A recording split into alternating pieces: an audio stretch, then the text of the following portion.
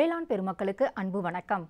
இன்றைய பொன்விளையும் பூமி நிகழ்ச்சியில் முதலில் வருவது வேளாண் செய்திகள் வேளாண் ஆலோசனை நேரம் வேளாண் சந்தை நிலவரம் வேளாண் வானிலை மற்றும் வேளாண் தொழில்நுட்பம். இன்றைய வேளாண் தொழில்நுட்ப பகுதியில் அசோலா உற்பத்தி முறைகள் குறித்து சிவகங்கை மாவட்டம் குன்றக்குடி வேளாண் அறிவியல் நிலைய உதவி பேராசிரியர் டாக்டர் எல். விமலேந்திரன் அவர்கள் தரும் தகவல்கள். இனி வருவது வேளாண் செய்திகள். வேளாண் பெருமக்களுக்கு அன்பு வணக்கம். வணக்கம் வேளாண் செய்திகள். முதலில் வருவது மாத்தி யோசிச்சேங்க பசுமாடு வளர்ப்பு செய்து பயனடைந்த தருமபுரி மாவட்ட வேளாண்மையாளர் திருமதி ஜி. விஜயலட்சுமி அவர்கள் தரும் செய்திகள். வேளாண் ஆலோசனை நேரத்தில் தஞ்சாவூர் திருவாரூர் திருச்சி கரூர் பெரம்பலூர் அரியலூர் மற்றும் நாகப்பட்டினம் ஆகிய மாவட்டங்களுக்கான வேளாண் அறிவிக்கை மற்றும் இன்றைய தாவர பகுதியில் கரும்பு.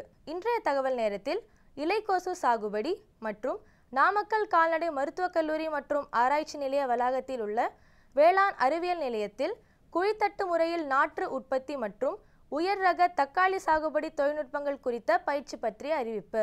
இன்றைய வேளாண் சந்தையில் வேளாண் ஒழுங்குமுறை விற்பனை கூடங்களில் வேளாண் விளைபொருட்களின் விலை நிலவரம். நாமக்கல் உழவர் சந்தையில் காய்கறிகளின் இன்றைய விலை நிலவரம். காஞ்சிபுரம் மலர் சந்தையில் வணிக மலர்களின் இன்றைய விலை நிலவரம். வேளாண் வானிலையில் மேற்கு மண்டல மாவட்டங்களான வானிலை அறிவிக்கை. உழவர் மற்றும் மீனவர்களுக்கான வானிலை முன்னறிவிப்பு. விரிவான செய்திகள். மாத்தி யோசிச்சேங்க. பசுமாடு வளர்ப்பு பண்ணையாளர்களின் வாழ்வாதாரத்தை உயர்த்தவும் தனிநபர் வருமானத்தை அதிகப்படுத்தவும் நாட்டின் பொருளாதாரத்தை உயர்த்தும் காரணியாகவும் திகழ்கிறது. அந்த வகையில் பசுமாடு வளர்ப்பு செய்து பயனடைந்த தருமபுரி மாவட்ட வேளாண்மையாளர் திருமதி ஜி. விஜயலட்சுமி அவர்கள் தரும் செய்திகள்.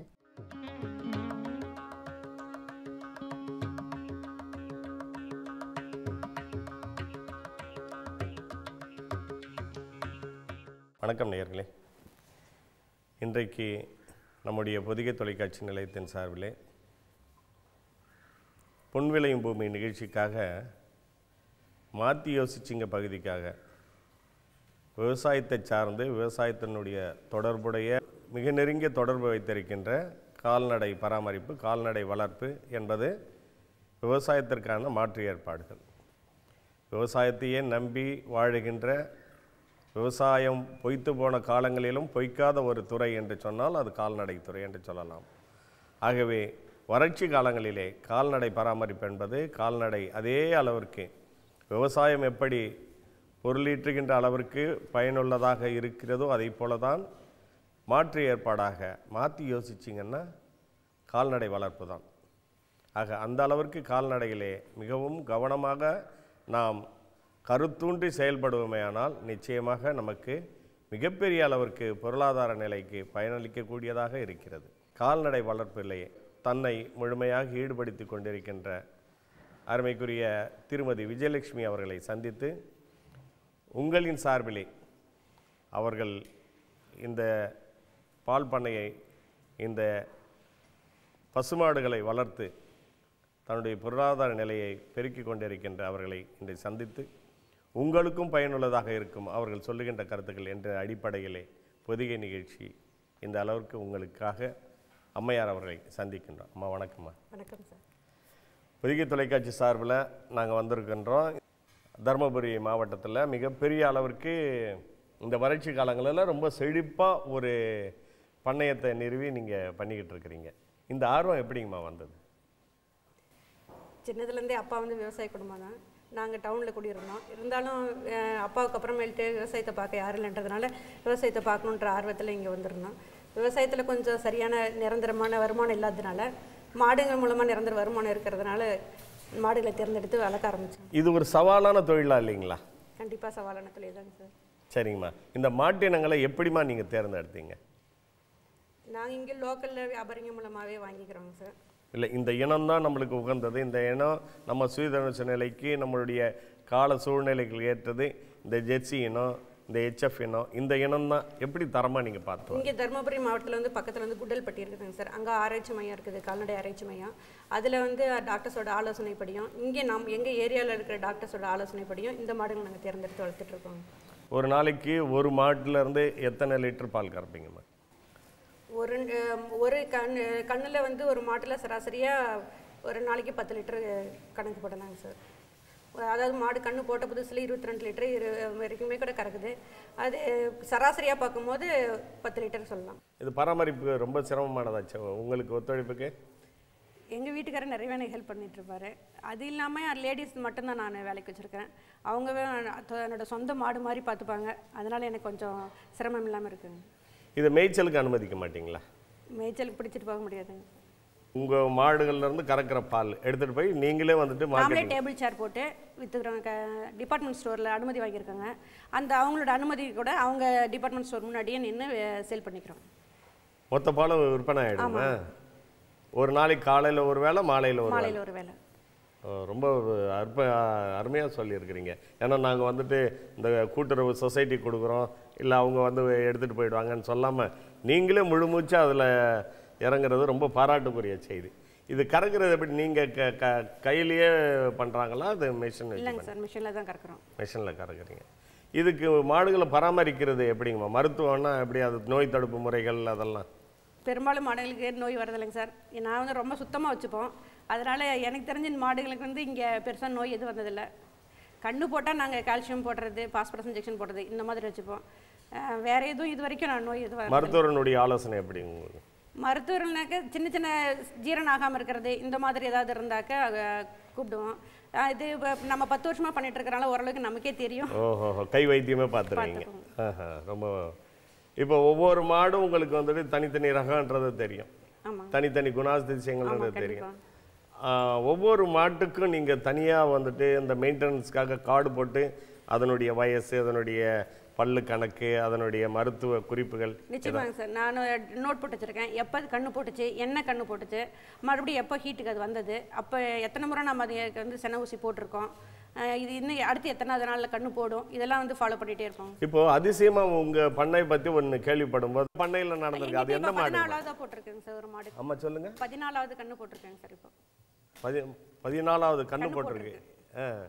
அந்த மாடு அந்த மாடு அந்த. மாடு எங்கம்மா இருக்கு? இங்கே இருக்குதுங்க இங்க இருக்குதுங்களா? பதினாலு கண்ணு போட்டு திரும்பி அது வந்துட்டு இப்போதான் கண்ணு போட்டு ரெண்டு மாதம் ஆகுதுங்க. இப்போ மறுபடியும் சென ஊசி போட்டிருக்கு அதுக்கு அதாவது இந்த விவசாயத்தை சார்ந்து விவசாயத்தை ஒப்பிடும்போது இந்த பால் பண்ணை திட்டம் உங்களுக்கு பயனுள்ளதா இருக்குதுங்களா? நிச்சயமாங்க சார். அதில் விவசாயத்தில் நான் வந்து நிரந்தரமாக இதுதான் இவ்வளோ கிடைக்கும் அப்படின்னு நம்மளால சொல்ல முடியாது. விளையும் போது விளைக்கிறது இல்லாமல் போயிடுது. விலை அதிகமாக இருக்கும்போது நம்மளுடைய விளைச்சல் கம்மியாக போயிடுது. இது அப்படி இல்லை. எப்போவுமே நிரந்தரமாக நமக்கு வருமானம் வந்துட்டே இருக்கிற மாதிரி இருக்குது இதுல நட்ட கணக்கு நீங்க எதுவும் பார்த்தது இல்லைங்களா நஷ்டம்லாம் மாடல் இல்லைங்க சார். நமக்கு இப்போ பிடிக்கல மாடு வந்து பால் ரொம்ப கம்மியாக இருக்குன்னா மறுபடியும் சரி பண்ணி நம்ம வித்துடலாம். எப்படிங்கம்மா? இப்போ ஒரு மாடு ரொம்ப வாங்கி புதுசாக வாங்கிட்டு வரோம். அந்த. மாடு வந்து ரொம்ப பால் கம்மியாக கறக்கு. நம்ம எதிர்பார்த்த அளவு கறக்கலைன்னா ஒன்றும் பெருசாக ஒன்றும் நஷ்டம் இருக்காது. நம்ம போடுற தீனி அளவு பால் கண்டிப்பாக கறந்துடும். சரிங்க. அடுத்த கண்ணுக்கு செனை பண்ணி நம்ம வித்துட வேண்டியதுதான். ஓஹோ. விற்கும்போது செனமாடாக தான் விற்கணுன்றீங்க செனை மாடை வித்துட்டோம்னா நம்ம எந்த அளவுக்கு வாங்கணுமோ அதே அளவுக்கு நம்ம வித்துடலாம். ஓ அது ஒரு தொழில்நுட்பம். விற்கிறதுல ஒரு ஒரு தாத்பரியம். செனமாடாக விற்றீங்கன்னா அதனுடைய விலை கொஞ்சம் கூடுதலாக இருக்கும்ன்றீங்க. நல்ல செய்தி. நான் உங்ககிட்ட இருந்து கேட்க விரும்புகிறதுன்னா இப்போ ஒவ்வொரு மாடையும் நீங்கள் பராமரிக்கிறது செலவுகள் எப்படிம்மா வருது? இப்போ விவசாயம்னு சொன்னால் நிறைய வந்துட்டு நஷ்டம் கணக்கு தான் பார்க்குறாங்க இதில் நீங்கள் தீனி போட்டு மருத்துவ செலவெல்லாம் பார்த்து பிறகு உங்களுக்கு லாபம் எப்படிம்மா கணக்கு பண்ணுவீங்க? லாபம் வந்து ஒரு இருபத்தஞ்சு பர்சன்ட் வரும். ஓஹோ இருபத்தஞ்சிலேருந்து முப்பது ரூபாய் செலவாயிடுங்க சார். ஒரு லிட்டருக்கு ஒரு லிட்டருக்கு செலவாச்சுன்னா ஏறக்குறைய உங்களுக்கு ஒரு பத்து ரூபா பதினஞ்சு ரூபா தான் ஆவரேஜாக கிடைக்கும். கிடைக்கும். ஒரு லிட்டருக்கு ஆமாங்க. சரிங்களாம்மா.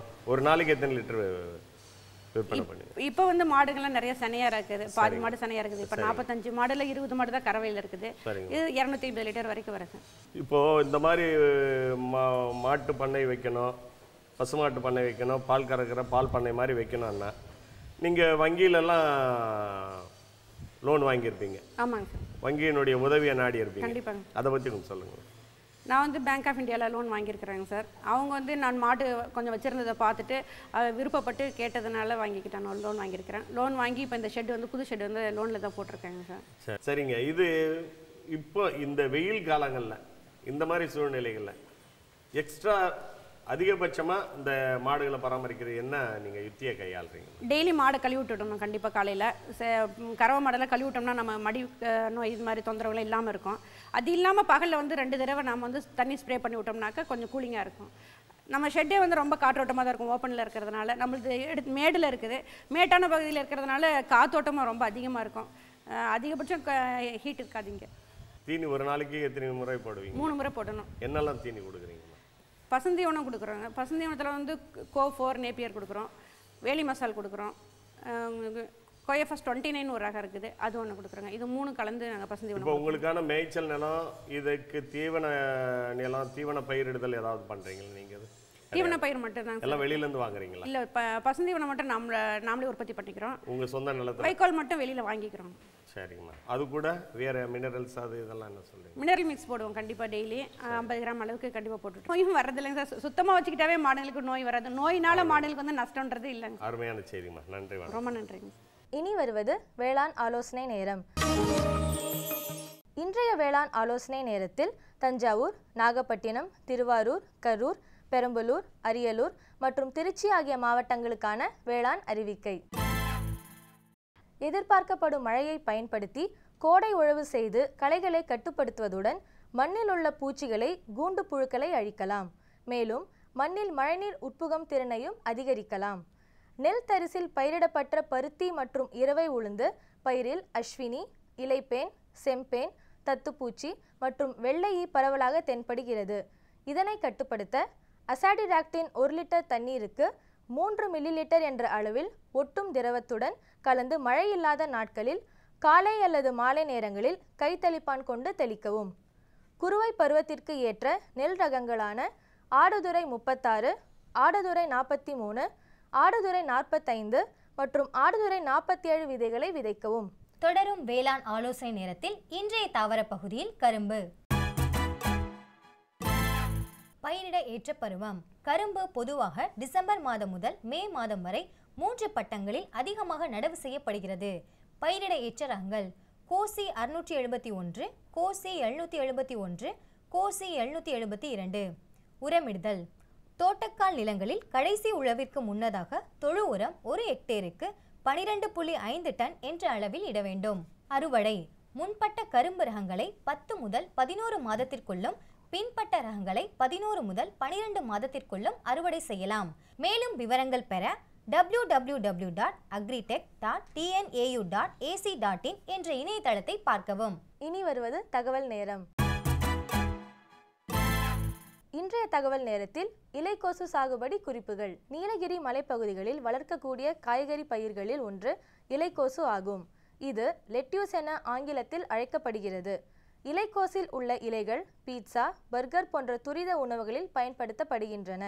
இலைக்கோசு ஒரு குளிர் பிரதேச பயிராகும். எனினும் வெப்ப மற்றும் மிதவெப்ப மண்டல பகுதிகளில் உள்ள மலைப்பகுதிகளில் இதனை பயிர் செய்யலாம். விதைகள் முளைப்பதற்கு எழுபது செல்சியஸ் முதல் இருநூற்று முப்பது செல்சியஸ் வெப்பம் வரை இருக்க வேண்டும். நாற்றங்கால் நடவு செய்ய விதைகளை செப்டம்பர் முதல் அக்டோபர் மாதங்களில் விதைக்க வேண்டும். ஒரு ஹெக்டேருக்கு இலைக்கோசினை நடவு செய்ய ஐநூறு கிராம் வரை விதைகள் தேவைப்படும். நடவு வயலில் செடிக்கு செடி முப்பது சென்டிமீட்டர் இடைவெளியும் வரிசைக்கு வரிசை முப்பது சென்டிமீட்டர் இடைவெளியும் இருக்க வேண்டும்.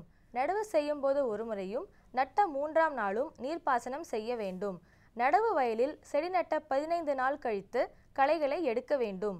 இலைக்கோசினை பூச்சி மற்றும் நோய்கள் அதிகம் தாக்குவதை கட்டுப்படுத்த நச்சுத்தன்மை அதிகம் இல்லாத பூச்சிக்கொல்லி மருந்தினை பயன்படுத்த வேண்டும். நடவு செய்த எண்பது முதல் தொண்ணூறு நாட்களில் அறுவடை செய்ய வேண்டும். ஒரு ஏக்கரில் இருந்து சுமார் ஐந்து டன் வரை மகசூல் பெறலாம். தொடரும் தகவல் நேரத்தில் நாமக்கல் கால்நடை மருத்துவக் கல்லூரி மற்றும் ஆராய்ச்சி நிலைய வளாகத்தில் குழித்தட்டு முறையில் நாற்று உற்பத்தி மற்றும் உயர் ரக தக்காளி சாகுபடி தொழில்நுட்பங்கள் குறித்த ஒரு நாள் பயிற்சி. பனிரெண்டு ஆறு இரண்டாயிரத்தி பதினேழு திங்கட்கிழமை அன்று குழித்தட்டு முறையில் நாற்று உற்பத்தி மற்றும் உயர் ரக தக்காளி சாகுபடி தொழில்நுட்பங்கள் குறித்த ஒரு நாள் பயிற்சி. விருப்பமுள்ள வேளாண்மையாளர்கள் கலந்து கொண்டு பயன்பெறுமாறு கேட்டுக்கொள்ளப்படுகிறார்கள்.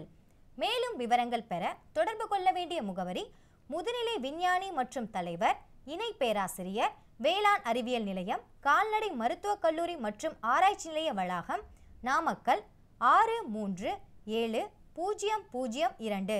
தொடர்பு கொள்ள வேண்டிய தொலைபேசி எண்கள் பூஜ்ஜியம் நான்கு இரண்டு எட்டு ஆறு இரண்டு ஆறு ஆறு மூன்று நான்கு ஐந்து. விளம்பர இடைவேளைக்கு பிறகு வேளாண் செய்திகள் தொடரும்.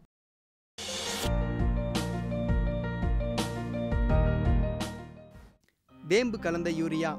சிறந்த உற்பத்திக்காக வேம்பு கலந்த யூரியா நம் நாட்டிலேயே எழுபது லட்சம் டன்னாக அதிகரிக்க ஆறு ஆலைகள் சீரமைக்கப்படுகின்றன. எஃப்சிஐஎல்லின் கோரக்பூர் சித்ரி தல்ச்சர் மற்றும் ராமகுண்டம் ஆலைகள் HFCL-இன் பரௌனி மற்றும் பிபிஎஃப்சிஎல்லின் நாமருல் போர்ட் ஆகியன பழம் நழுவி பாலில் விழுந்தது போல இப்பொழுது நம் நாட்டிலேயே வேம்பு கலந்த யூரியா உற்பத்தி செய்யப்படும். இதனால் விவசாயிகளுக்கு நன்மையே விளையும். பத்து சதவீதம் வரை தானிய உற்பத்தி அதிகரிக்கும். மண்ணில் பத்திலிருந்து பதினைந்து சதவீதம் நைட்ரஜன் திறன் அதிகரிக்கும். சிறந்த உற்பத்திக்கு வேம்பு கலந்த யூரியா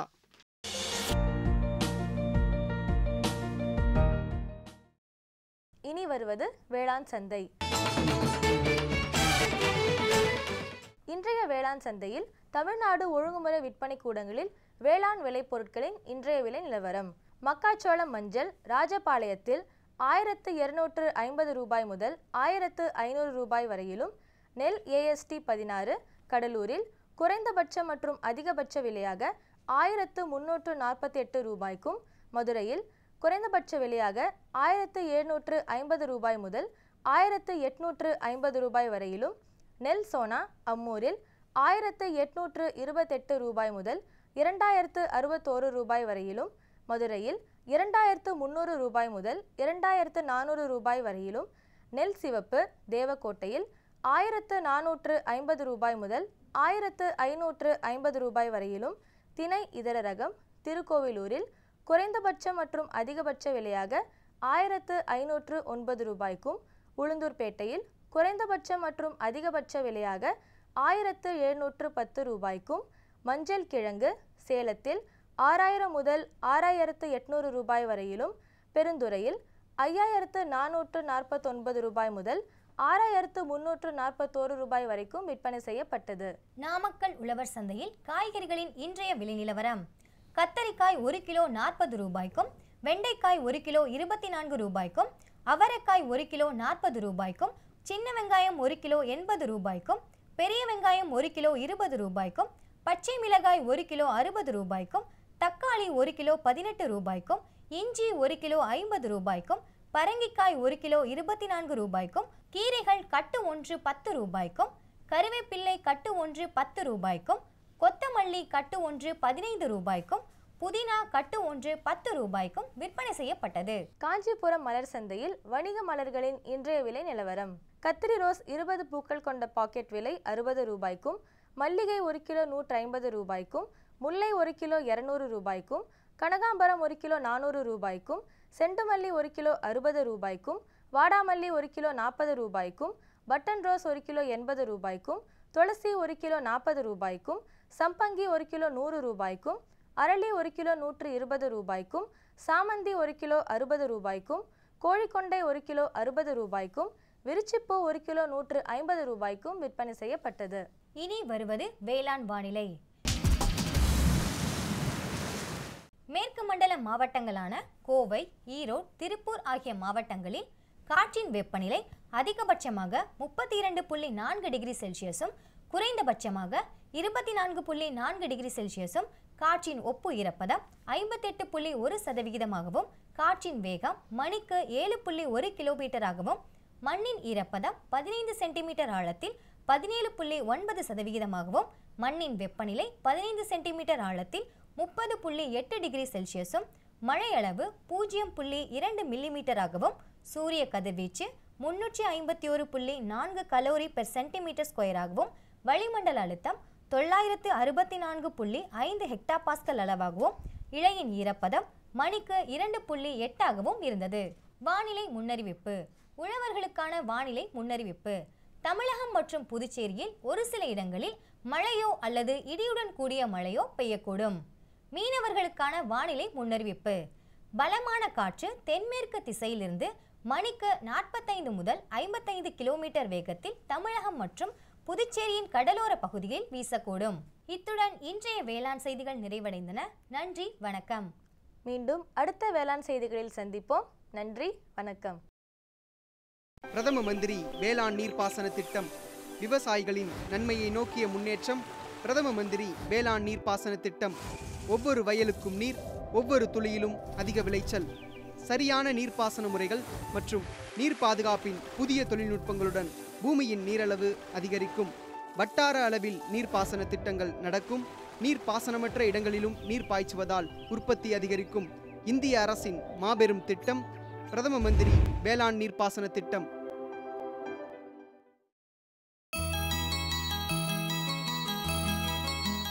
அசோலா என்பது பச்சையம் நிறைந்த தாவர வகை உயிரினமாகும்.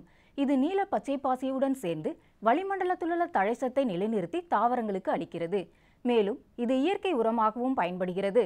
இத்தகைய சிறப்பு வாய்ந்த அசோலா உற்பத்தி முறைகள் குறித்து சிவகங்கை மாவட்டம் குன்றக்குடி வேளாண் அறிவியல் நிலைய உதவி பேராசிரியர் டாக்டர் எல். விமலேந்திரன் அவர்கள் தரும் தகவல்கள்.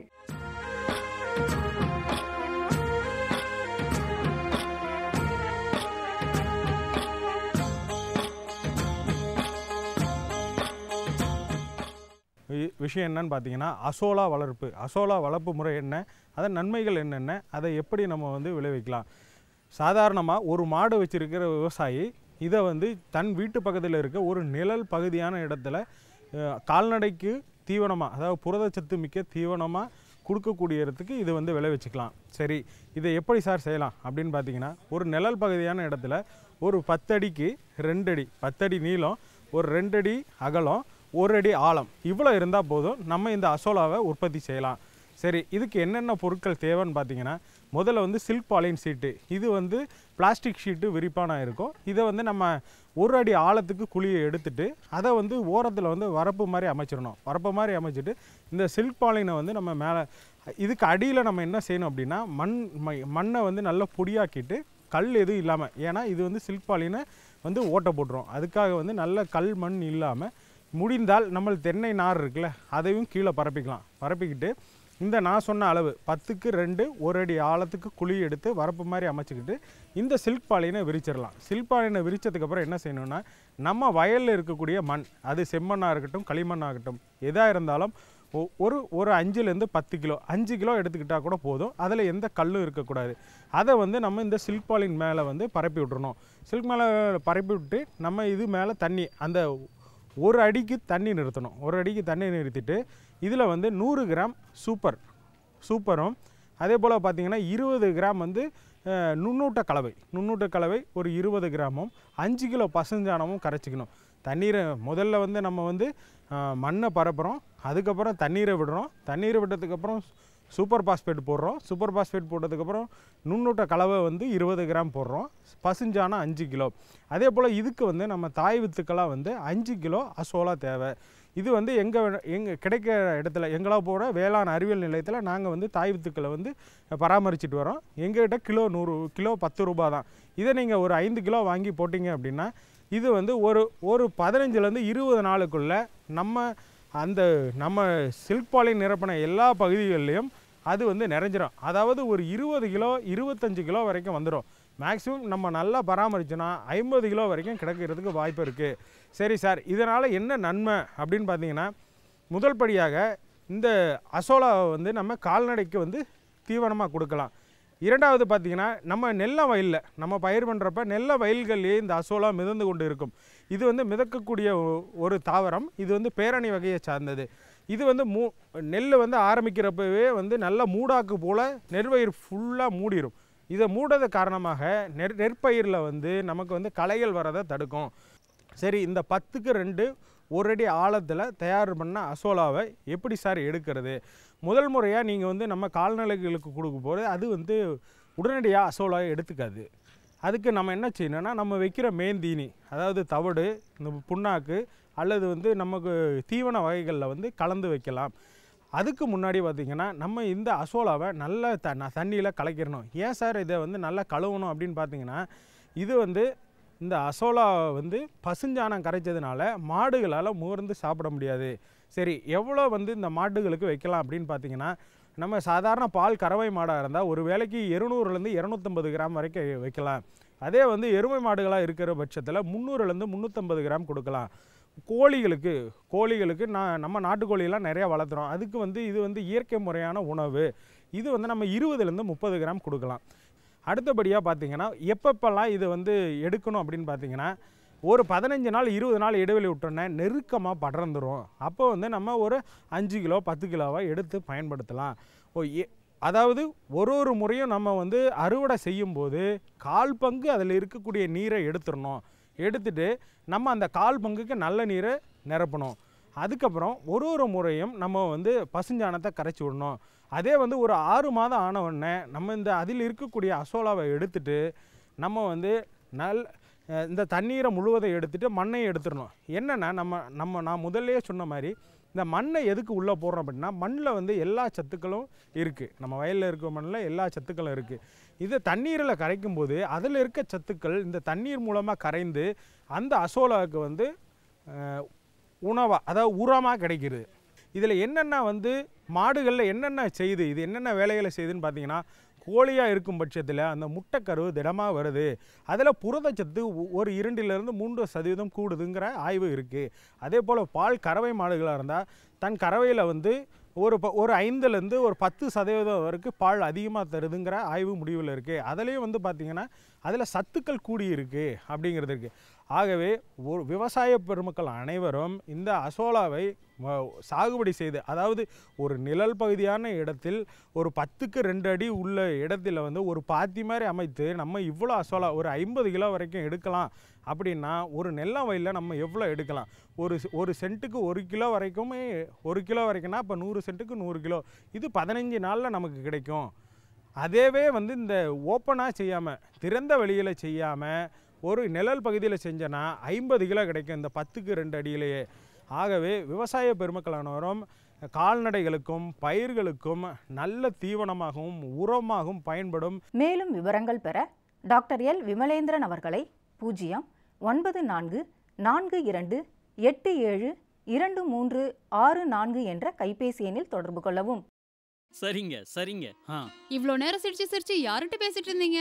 விவசாயிகள் கால் சென்டர் நிபுணர்கிட்ட பயிர்கள் பத்தின யோசனை கேட்டுட்டு இருந்தேன். காலையில சரி மதியானம் கூடவா விவசாயிகள் கால் சென்டர் காலையில ஆறு மணில இருந்து ராத்திரி பத்து மணி வரை திறந்திருக்கும். ஞாயிற்றுக்கிழமை கூடவா ஆமா வருஷத்துல முன்னூத்தி அறுபத்தஞ்சு நாளும் திறந்திருக்கும். விவசாயம் சம்பந்தப்பட்ட பிரச்சனைகளுக்கு தங்கள் மொழியில் உடனே தீர்வு பெற இந்தியாவில் எங்கிருந்தும் எந்த போன் மூலமும் தேசிய ஹெல்ப்லைன் நம்பர் ஒன்று எட்டு பூஜ்ஜியம் பூஜ்ஜியம் ஒன்று எட்டு பூஜ்ஜியம் ஒன்று ஐந்து ஐந்து ஒன்றில் தொடர்பு கொள்ளவும்.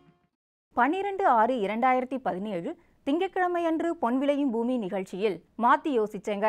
மகளிர் சுய உதவிக்குழு மூலமாக மானியம் பெற்று கறவை மாடு வளர்ப்பு செய்து பயனடைந்த காஞ்சிபுரம் மாவட்டம் மதுரமங்கலம் கிராமத்தைச் சேர்ந்த வேளாண்மையாளர் திருமதி ஜே. அமுல் ஜோதி அவர்கள் தரும் செய்திகள்.